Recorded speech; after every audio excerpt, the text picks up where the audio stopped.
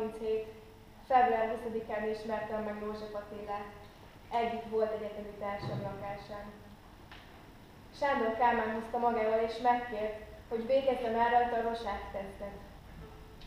Általában egy fél óra-óra, tíz kép felvételének ideje. Vele két óra alatt csak az ötödik jutottunk. Rendkívül sok választ adott, bizarr feleleteket. A harmadik képnél azt mondta. Most már csak a maga kedvéért csinálom. Az ötödik kép végén én ajánlottam, hogy hagyjuk abba. Hétfőn, február 22-én a munkahelyemen telefonhoz hívtak. Itt József Attila. Nagyon fontos és sürgős ügyben akarok önnel beszélni. Abban az időben rengeteg munkám volt. Minden percem be volt táblázva. Két nappal később újra felhívtam. Mondtam neki, hogy nagyon fontos, és nem nyugszom, míg meg nem hallgat. Este nyolcra adott nekem találkozott.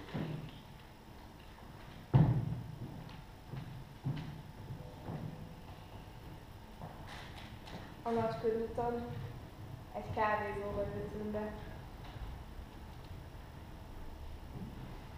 Egy-két verset akart nekem mutatni. Rettenetesen zavarba jöttem, mert mindegyikben benne volt a nevem, de ígéretéhez híven törölte a családnevemet. Már az első percben elhatároztam, hogy megkérem a kezét. De nem mertem szólni, nehogy bolondnak tartson. Hogy nyilatkozhat így? Hiszen még csak másodszor találkoztunk. Úgy ismerem, mintha ezer éve ismernék. Csak a külső körülményeit nem tudom. Ki az anyja, apja, testvére. Már késő volt. Nem tudtam ellenállni annak az ostromnak, amit telefonon indított azért, hogy még egyszer lásson, és beszéljen velem. Nagyon fontos ügyben.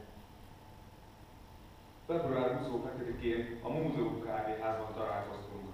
A fontos ügy a házasságunk volt. Miért várjuk hónapokig? Állást vállalok. Előtted még nem éreztem ilyen igazán nagy érzés senkire. Én nem szoktam házasságot ígérgetni csak úgy. Belehalok, ha ez nem sikerül. Belehalok. Úgy kell lesz, mint a parasztnak a föld. A csendes eső és a tiszta. Úgy kell lesz, mint a növényeknek a zöld, hogy kívülni. Úgy kell lesz, mint a dolgos tömegeknek, akik daccal és tehetetlenül remegnek. Mert kínjukból jövő nem született meg. Munka, szabadság, kenyér és Úgy kell lesz nekem, Flóra, mint falu villantfény. Kőház, iskolák, kutak.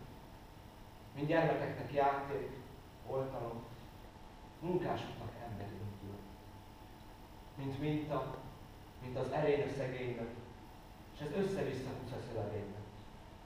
Társadalmunkba elnekel, nagy fényben, mely igazodni magának. Egész március folyamán rendszeresen találkoztunk. Általában hetente háromszor délután, öt után. Sétáltunk a kezdődő tavaszban a budai Dunaparton, a várban. Elkísért dolgaikban mennem kellett. Ez volt ismerettségünk legharmonikusabb, legvidámabb időszaka. Születésnapom előestéjén elszavaltam neki új verset. 32 éves lettem én. Meglepetése költemény, csecse, recse. Ajándék, melyen meglepem. De kávéházi szegletem, magam, magam. 32 éven elszerelem, és még havi 200 sosem. Azán, azán. Lehettem volna oktató. Nem így töltött oktató szegény legény. De nem lettem mert Szegeden eltanácsolt az egyetem. Fura, fura. Interme gyorsan, nyersen ért. Ha nincsen apám verseny. A hont kivont szabjával óvta ellenem. Ide idézi szellemem hevé, és nevé. Ön, míg szóból értek én, nem lesz tanára féltekén. Gagyok, zsajok. Ha örül Borger adta úr, hogy költőnk nem nyelvtan tanul, se neki. Én egész népemet fogom, nem középiskolás fokon, tanítani. Rövid ismertségünk legszebb óráit április 16-án délután töltöttük. Leültünk egy padra. A lámpák fénye a fájtól szedő zöld lombok közt szűrődött át. Vállunkat egymáshoz támasztottuk, tréfáltunk, nevettünk, verseket mondott csodálatosan. Thank you.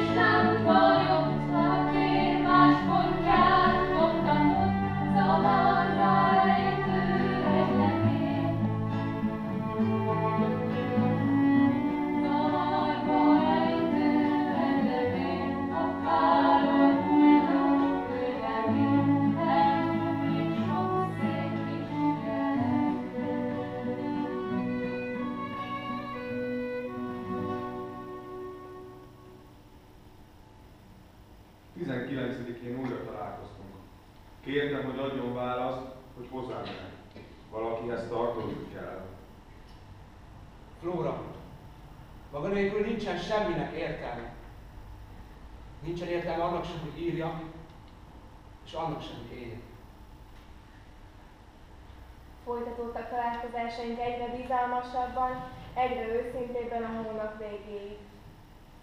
Ajánlotta, hogy tartsuk meg az esküvőt, csak határozom el magam. Akkor jött közbe a betegségem. A vizsgálatok eredménye rosszabb volt, mint amitől féltem. Bekerültem a kórházba, és levél érkezett Attilától. Flóra kedves, szeretném meglátogatni. Üzenje, mikor lehetséges. Üdvözli Attila. Sokszor bejött hozzám. Beszélgettünk, mondott verseket. A kórházból május 29-én jöttem ki. Hetekig. egy magaslati helyen kellett lennem. Június 7-én érkeztem meg az időbe. Ahogy megbeszéltük, írtam Attilának. Kedves Attila, Mátra házára jöttem, mert test környékén nem találtam megfelelő helyet. A környezet gyönyörű. Körülbelül két hét múlva megyek haza. A viszont látásáig sokszor üdvözlöm. Flóra. Ha nem leszel most azért, ki szeret, majd leszel akkor másé. Egy ország korába írott nevet. Vigyázz! Belőled is lehet N. Pálni, X. Tamásni. Nem irigykedj, ne latold magadat. Öld öletbe, ha kellett, vagy fölkérsz, falhoz veti a marat, a részek, a poharat, ez szesztelen szerelme. Július 4-én szüleimmel és testvéreimmel leutaztunk Tihanyba. Másnap írtam neki, de úgy látszik nem volt türelme. Táviratot küldött. Miért nem írjuk? Várom.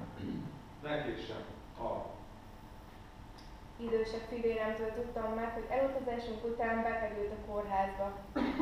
Súlyos állapotban. A következő levél érkezett tőle. Kedves Flóra, itt vagyok a szanatóriumban.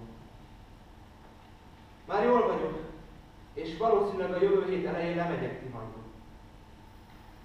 És ha maga is úgy akarja, ott maradok egész nyáron.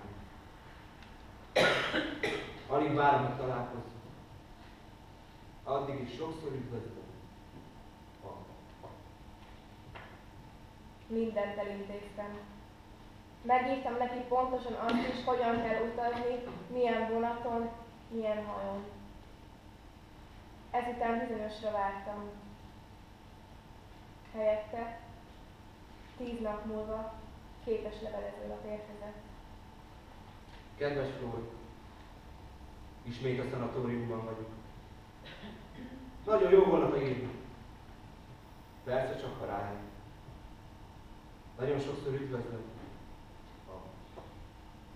Most már nagyon megijedtem. Azonnal írtam. Kedves Attila, nagyon aggódom magáért. Nem értem, hogy mi baja van. Gyógyuljon meg gyorsan, de addig is közölje velem egészen részletesen, hogy érzi magát. Nagyon sokat gondolok magára, és szeretettel üdvözlöm. Flóra. Júliusban sokat leveleztünk. Mindig tájékoztatom állapotomról, ahogy kértem. Augusztus 14-én, kora reggel, vonattal indultam, délelőtt érkeztem Pestre. A déli pályaudvarról egyenesen a szanatóriumba mentem. Az ápolónők körülvettek, mustrágattak. Itt van Flóra, József Attila szerelme, mondogatták. Rettenetesen zavarba jöttem. Elvörösödtem. Mondta a kezelőorvos, hogy ne menjek be hozzá. Így hát írtam néhány sort, hogy ott jártam, és hamarosan már találkozhatunk. Majd visszautaztam Tihanyba. Kedves Flóra, végtelenül elkeserít, hogy nem engedték be magát hozzá. Nagyon szomorú vagyok. Hol sírok, hol nem. Talán már nem is lesz belőlem ember, és nem tettek más, mint hogy így megköszönöm a látogatást. Nagyon szeretem, és hiszem, hogy most már valamilyen jó. Valahol. Valahogyan teljesen összetörtem. És ha valamilyen primitív módon össze is raknak, én már nem leszek magához méltó. Mert én már nem vagyok taposva. Magának életvidám férfiakra van szüksége.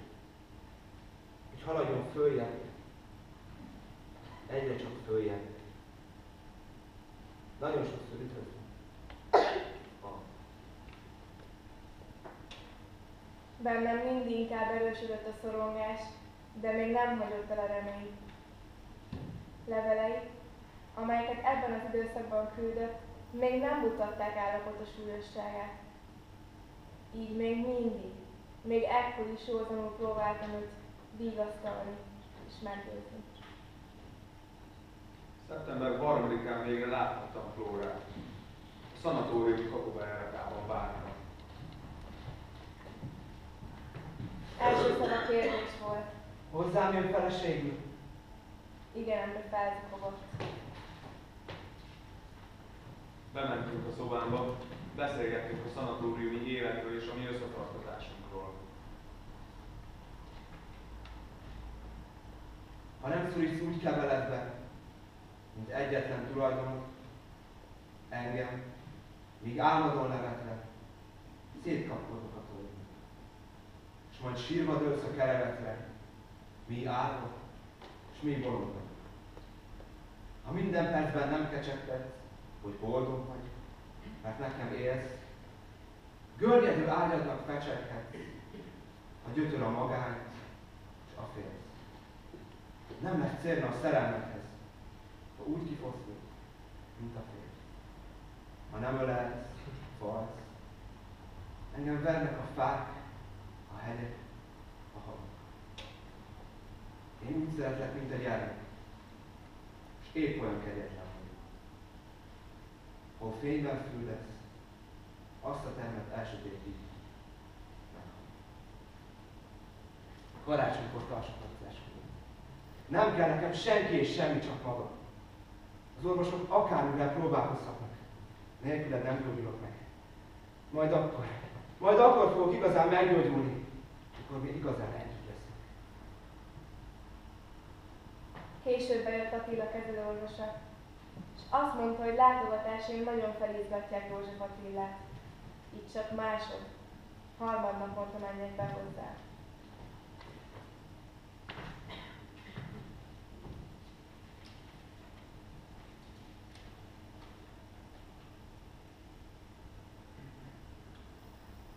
róla.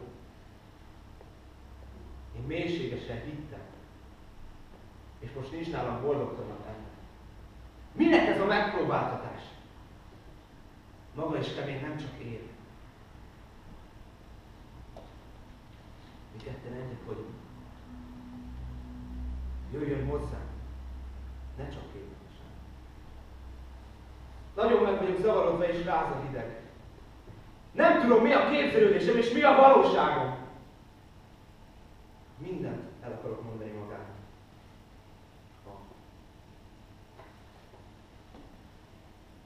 Úgy érzem, nem szeret. Amikor az orvosoktól engedélyt kaptam, mindig meglátogattam. Néha jókedvű volt, de nagyon sokszor rossz volt a hangulata állapota folyamatosan romlott.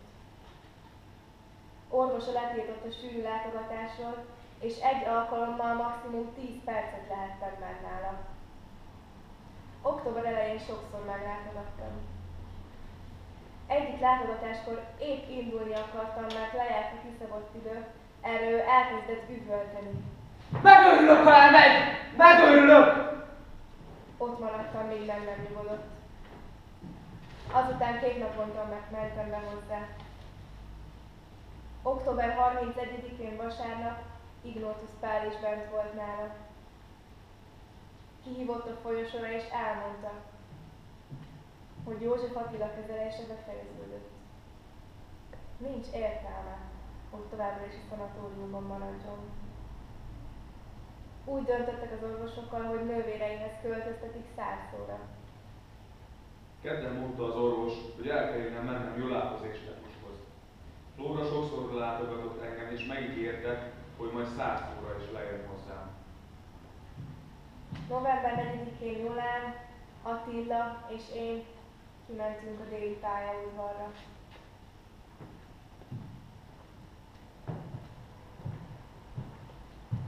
Ők felültek a felkői vonatra. Attila kinézett az ablakon. Tekintete rémült volt.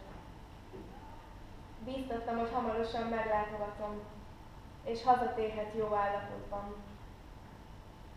Mikor a vonatnak már füstösen látszott, hazamentem.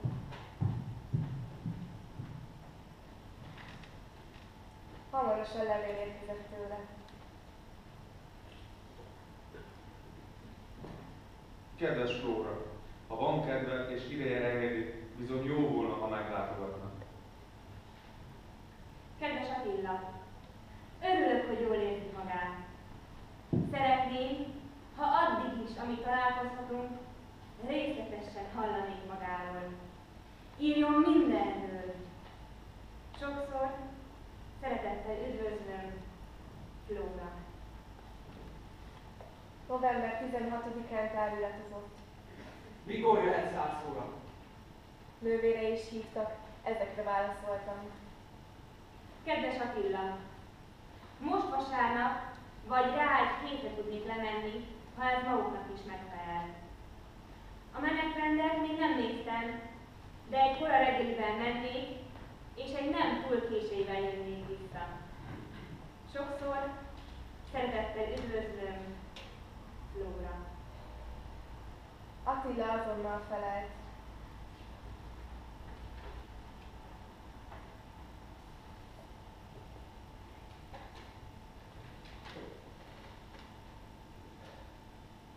Kedves Flóra, nővéreink szerint már most vasárnap rendben lesz. A faluba. Kérem tehát, ha magának is úgy esik jól, már most vasárnap látogasson meg bennünket. El tudsz nagyon örülni, ha több időt töltene vele. Esetleg bejöhetnek az én már szombat délután.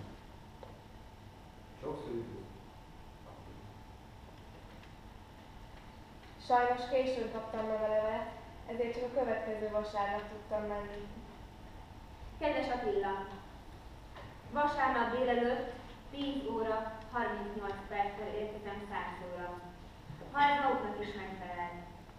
Kérem, írja meg a közelebbi címüket, és hogy az állomásról hogyan közelíthetőek meg.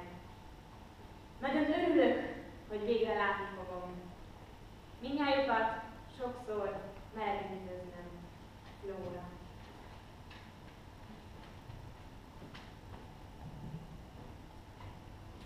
Kimentem elé az állomásra.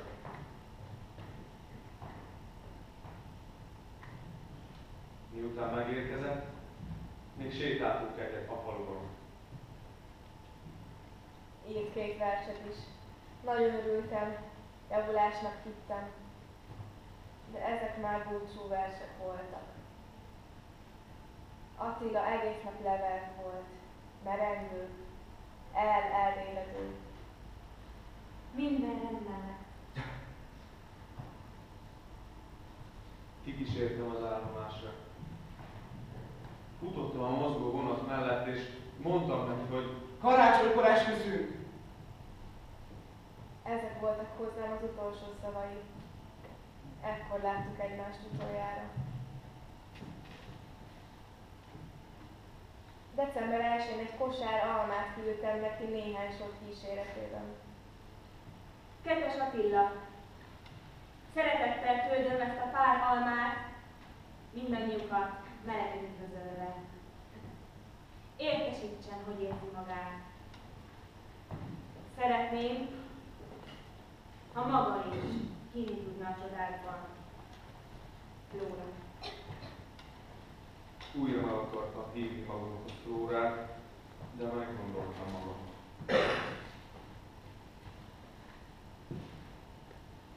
Kedves Flóra, bocsásson meg nekem. Hiszek a csodában. Számomra csak egy csoda lehetséges, és azt meg is teszem. Tudom, hogy szeret. Tudtam, hogy szeret. Hát többi nem rajta múl. Aztán mit sírsz? A sorsunk írva van már. Ezt Kosztolányi írta. Csókolom a kezét, és sok barátsággal üdvözlöm. Köszönjük az almákat, én is ettem belőle. Utóirat. Kérem, vasárnap lejövök.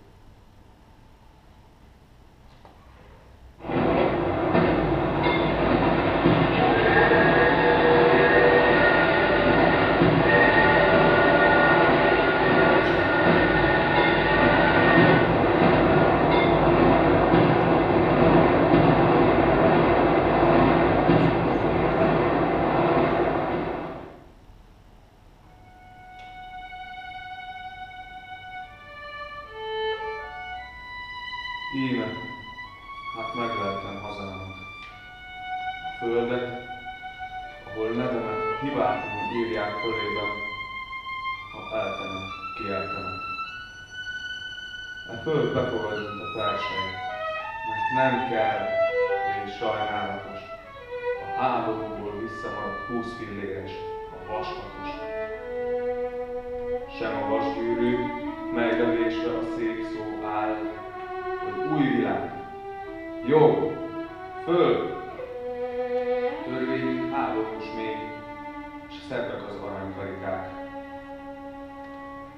Egyedül voltam én sokáig, majd eljöttek hozzám sokan. Magad vagy, mondták, bár velük voltam volna én boldogan.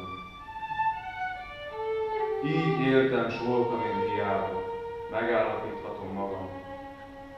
Bolondot játszottak velem, és már halálon is hasztalan. Mióta éltem, forró szélben próbáltam állni helyemen. Nagy nevetség, hogy nem vétettem többet, mint vétettek nekem. Szép a tavasz, és szép a nyár is, de szebb az ősz, s legszebb a tél annak, ki tűz helyett családot már végképp másoknak remél.